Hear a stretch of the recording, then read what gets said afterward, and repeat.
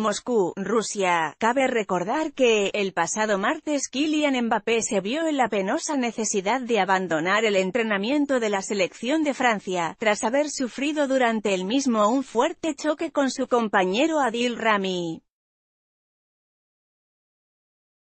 El jugador del PSG se llevó un duro golpe en su tobillo izquierdo y, aunque en un primer momento trató de seguir la práctica, finalmente se retiró a los vestuarios del centro de Istra, a las afueras de Moscú. Estoy bien, solo es un golpe que no importa, pero gracias por sus mensajes.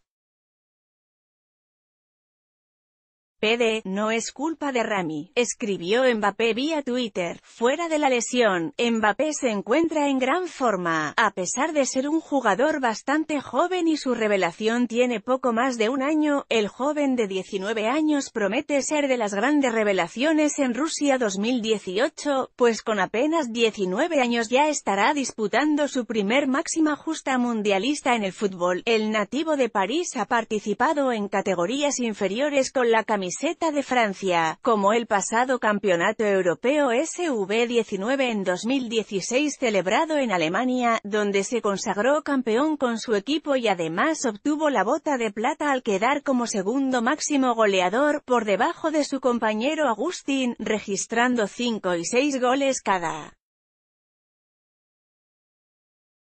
Uno respectivamente, con la selección absoluta ha sumado tres goles en 12 partidos y su última anotación fue en el amistoso contra Estados Unidos, disputado el pasado 9 de julio, el resultado final fue 1 a 1, en 2017, Mbappé fue galardonado con el Golden Boy, premio que entrega el diario deportivo italiano Tuttosport al mejor deportista europeo menor de 21 años, Francia se enfrentará a Australia en el tercer día del Mundial Mundial de Rusia 2018, aún en la primer jornada del Grupo C, en punto de las 5 HRS tiempo del centro de México, en el Kazan Arena, en la ciudad de Kazán, Rusia. En esta nota, Fútbol Mundial de Rusia 2018 Francia Kylian Mbappé Selección de Francia